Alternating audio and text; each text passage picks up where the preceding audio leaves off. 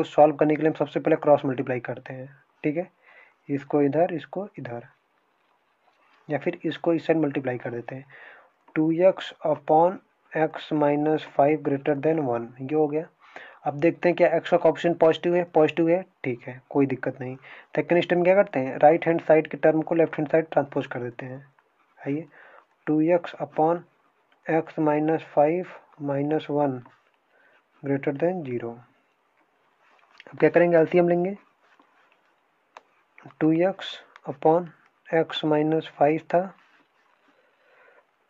Minus x plus five greater than zero implies that x plus 5 upon x minus 5 greater than 0 तो critical point हमारा क्या निकल के आया?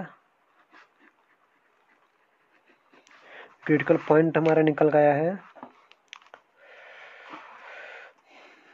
X plus five never is equal to zero implies that x is equal to minus five नहीं होगा। दूसरा, x minus five never is equal to zero implies that x is equal to five नहीं होगा। तो हम number line पे draw करेंगे।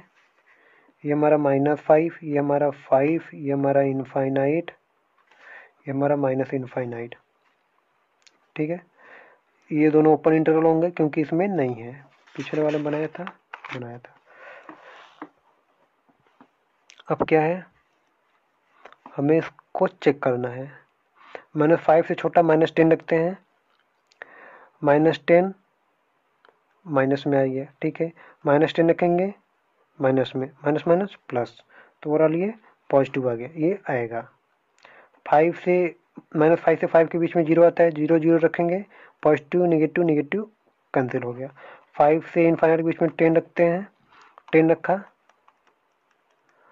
Fifteen हो गया टेन रखा फाइव तो ओवरऑल पॉजिटिव